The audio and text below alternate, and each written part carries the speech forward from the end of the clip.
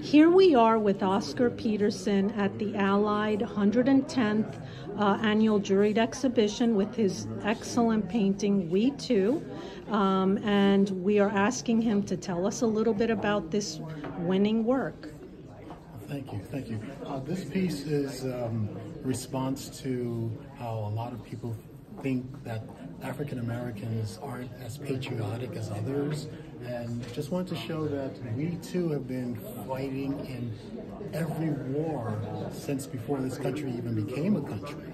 And uh, without getting the rights and privileges of others, um, I just did this. It's a self-portrait, and uh, I borrowed the uniform, and I didn't get any paint on it while I was painting, so it was great. Um, and uh, I, I, just I find it to be a, um, a, a very timely, timely piece, especially in today's climate. Okay. Thank you very much. Thank you.